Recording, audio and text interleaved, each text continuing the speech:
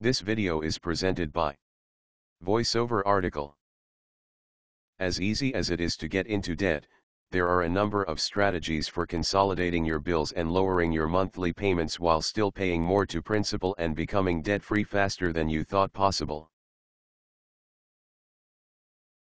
If you're ready to eliminate your credit card debt, you need to assess your situation and then look at the best alternative for your financial needs. Do you own a home?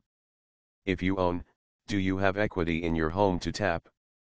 Can you afford more than your monthly payments, or are you struggling to get by? Is your number one goal getting out of debt, or is it to meet your monthly payments? If you own a home, and have equity available, you can look at a debt consolidation loan, or a related solution a home equity line of credit. In this scenario, you are shifting your credit card debt from unsecured to secured debt, which allows you to lower your monthly payment and also lets you deduct the interest payments from your taxes. You may determine that this debt consolidation loan, or second mortgage, can put you on a much faster track to eliminating your debt. That's because the interest rate on a second mortgage can be much lower than what you're paying toward credit cards or other high interest debt. Trading higher interest debts such as these for a lower interest payment can save you hundreds each month which you can, in turn, put back toward paying off the debt. Last, but certainly not least, the interest you pay on a second mortgage is tax deductible and that savings too can be put toward your bills. Or perhaps you already have a second mortgage you've been paying on for a while. Especially if you got your first and second mortgages at the same time, it might be time to consolidate them into one loan. Many second mortgages in the last decade carried adjustable interest rates which have increased causing payments to rise.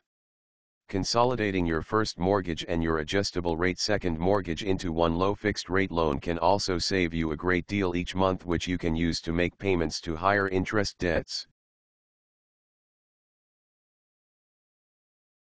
Two other advantages you may gain through refinancing are the elimination of personal mortgage insurance and the chance to get cash out at closing.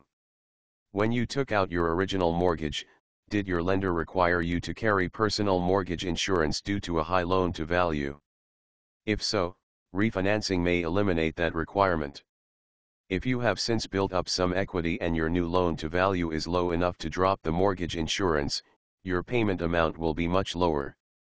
You may also find that you can take some cash out of your home at closing without significantly increasing your monthly payments. That cash can go toward you guessed it your higher interest debts.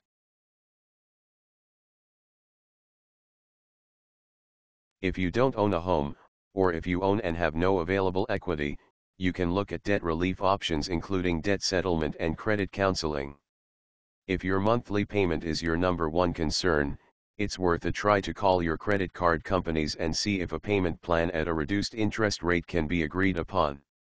This will allow you to pay more toward your balances each month and eliminate your credit card debt sooner.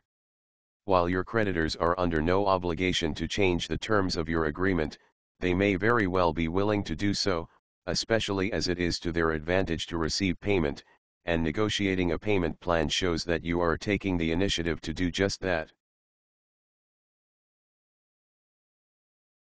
If calling your creditors doesn't work, or if you just want a quick fix, you can contact a debt settlement or credit counseling company. Debt settlement is a service for consumers who want out of debt at the lowest cost, in the shortest time frame, with the lowest payment while avoiding bankruptcy.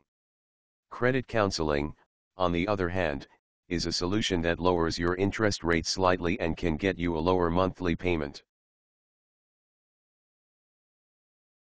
The path to becoming debt-free is as different as the ways you can get into debt in the first place. The first step toward eliminating your debt is educating yourself with all the options available to you. Once you've identified your needs, you can get started taking the right steps for yourself. This video is presented by VoiceOver article.